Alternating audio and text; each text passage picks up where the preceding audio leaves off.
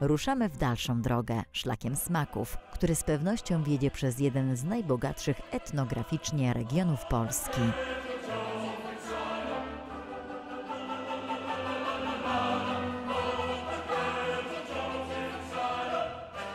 Śląsk kojarzy nam się między innymi z zespołem pieśni i tańca Śląsk, z bogactwem strojów, ciekawymi obrzędami i z odmienną gwarą.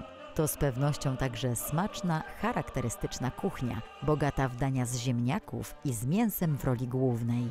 To właśnie tu wciąż wytwarzane są krupnioki śląskie z unijnym certyfikatem. Unia Europejska wyróżniła je chronionym oznaczeniem geograficznym. Produkt znalazł się więc w zaszczytnym rejestrze produktów chronionych w krajach wspólnoty. Prawnie chroniona jest jego nazwa i technologia tworzenia. Trafiamy do jednego z zakładów, gdzie jest produkowany. Mówi się, że to właśnie górnicy rozpromowali krupniok śląski, bo podkreślali, że górnik musi dobrze zjeść, żeby potem móc ciężko pracować. E, Tak, to prawda. Jak wszyscy wiemy, tradycja krupnioka śląskiego jest na stałe związana e, z tradycyjną kuchnią śląską i już e, można wyczytać czy znaleźć pewne historie związane z krupniokiem śląskim, nawet w jakichś zapisach historycznych pochodzących z XVIII wieku.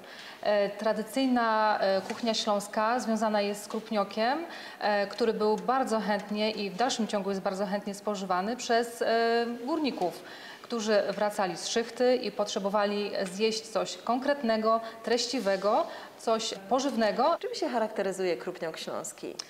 E, Krupniok śląski charakteryzuje się przede wszystkim wyjątkową smakowitością. Jest to związane z charakterystyczną i bardzo typową recepturą e, i specyfikacją tego produktu, e, wytwarzaną i przekazywaną z pokolenia na pokolenie przez tradycyjne górnicze rodziny. Charakterystyczny smak krupnioka związany jest przede wszystkim ze sposobem jego wytwarzania, z użyciem odpowiednich charakterystycznych składników mięsa, e, podrobów oraz przypraw. E, Typowymi przyprawami, które używamy do krupnioka śląskiego jest e, sól, pieprz, ziele angielskie oraz cebula. I wszystkie te składniki użyte w odpowiednich proporcjach tworzą niepowtarzalny smak i aromat. Pierwsze wzmianki o krupniokach śląskich pojawiają się w literaturze i badaniach etnograficznych już w XVIII wieku. Największe ich upowszechnienie przypada jednak na lata 30. XX wieku. Wówczas na Opolszczyźnie i na Górnym Śląsku krupnioki zaczęły występować już nie tylko w jadłospisach weselnych, ale również codziennych. Śląski gwarowy wyraz krupniok pochodzi od wyrazu krupa, czyli kasza jęczmienna perłowa. Kasza produkowana z ziaren zbóż. Oznacza wyrób wędliniarski z kaszy i krwi oraz podrobów. Ważnym elementem em, składu e, krupnioka śląskiego jest kasza i w zależności od rejonu e, możemy użyć kaszy gryczanej lub kaszy jęczmiennej. E, Ważnym e, tutaj zadaniem czy ważnym jakby elementem jest to, że tą kaszę gotujemy w wywarze, e, w rosole, w którym gotowały się składniki mięsne. I właśnie ten wywar, który, w którym gotujemy kaszę, nadaje charakterystyczny skład krupnioka śląskiego, nadaje też odpowiednią strukturę krupnioka oraz taką kleistość i niepowtarzalny smak. Dawniej tradycyjnie parzono krupnioki w kotłach, w gorącej wodzie, czy po prostu w garnkach w warunkach domowych.